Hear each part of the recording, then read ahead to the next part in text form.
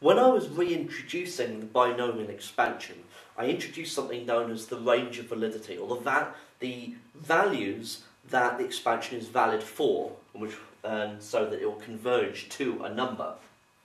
Otherwise, it diverges. And for the original expansion, 1 plus x to the n, this is true when x mod x is less than 1. So, in other words, x is between minus 1 and 1. So this is true when n uh, is a real number. Okay? So if we had to say what values are these valid for, then we use that same expansion mod x is less than 1. That's not saying that all of these are valid when mod x is less than 1. That's not true. If I'm looking at 1 plus 3x, the minus 4, I need to make sure I've got 1 plus or 1 minus first, which I have. And I have for the first three. Something strange is going to happen for this last one, okay?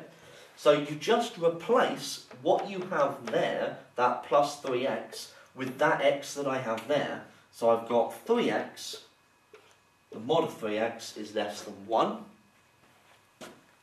And so then um, we can divide through by 3 and I get mod x is less than 1 third. Okay, so that's how you can write down the range of values that it's valid for. So you replace the x with 3x, divide both sides by 3 and you get mod x is less than a third, which means that x must be between minus one third and positive one third. If I have 1 minus 5x to the power of a half, then I can replace the um, x with minus 5x this time. But of course, um, shouldn't really have that there. The modulus sign will get rid of the negative, and I can divide both sides by 5. So I can write that as mod x is less than 1 fifth. For this third example, replace the x with minus 2 ninths x is less than 1. The modulus sign will take care of the negative, and I can divide both sides by 2 ninths, so I get mod x must be less than 9 halves in order to be valid. Then I've got this final example down here, this 2 minus 7x to the power of a third. Now I don't just replace the mod x with minus 7x. Um, I've first of all got to factorise what is inside that bracket.